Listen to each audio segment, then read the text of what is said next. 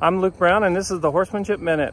The horse behind me is Gremlin. He's a four-year-old Arabian horse that came to me. He's a gelding and uh, I've had him for five weeks now. He had a couple days off over the weekend and I started lunging him around a little bit and he was kind of nervous about some cattle across the street over there.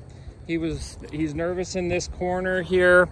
And so one of the things you want to do with your green horses or horses that have been, uh, haven't been worked in a while or haven't been ridden in a while is to lunge them and, and a great way to test their mental, emotional, and physical capacity and where they're at is to lope them at a lunge. So I'm gonna ask him, see if I can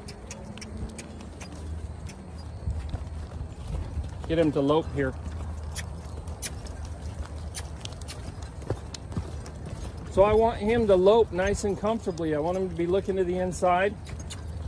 Now he's, as an Arabian, they, they love to look to the outside, so we're still working on that. now watch this trash truck is coming by here. Let's see how he responds to it. See how he kind of lost his composure there?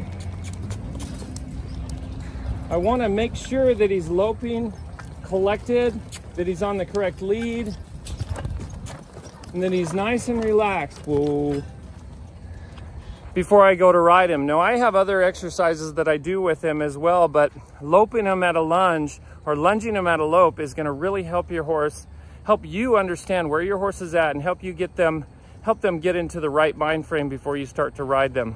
Have a great day.